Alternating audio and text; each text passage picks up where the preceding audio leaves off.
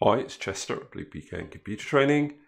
And in this video, I want to show you how to count the number of unique values. I'm going to show you two ways. One will work for any version of Excel and the other will work for Excel 365. The second version is much easier, but you do need the latest version of Excel.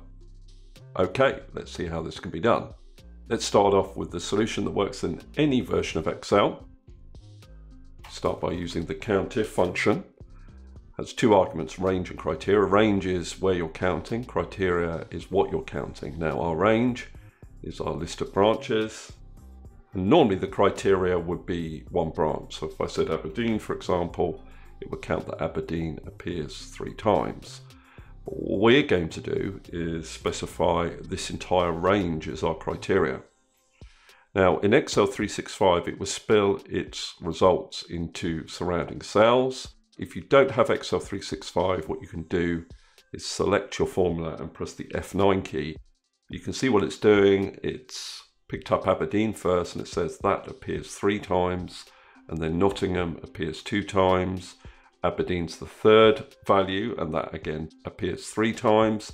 Brighton is the fourth value and that appears four times. So it's giving a result for each of the values in this range. I'll just undo the F9 effect back to my original formula. Now what I want to do is divide those results by one and then if I press F9 you can see what it does is if something appears three times you get the result 0.33 if it appears two times you get the result 0.5 so if I added the 0.33s together, I would get 1. If I added the 0.5s together, I'd get 1.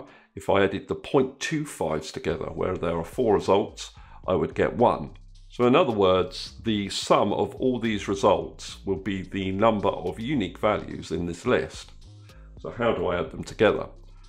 Well, I could use the sum function, but that would require me to enter an array formula with Control Shift Enter so a better option is to use SUMPRODUCT, which doesn't require you to use Control Shift Enter.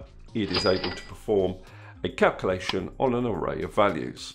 And there we are. There are three unique values in my list, Aberdeen, Nottingham and Brighton. Let's look at the second method, and this is available for Excel 365 users. It's a lot easier to use and understand. You start with the unique function and select your range and that spells an array of the unique values it finds in that list. And then we want to count those values, so we can use count A to do so, and it returns the same answer, 3. Okay, so two ways of counting unique or distinct values in a range. Hopefully you found that useful. If you have, please subscribe, and I'll see you next video.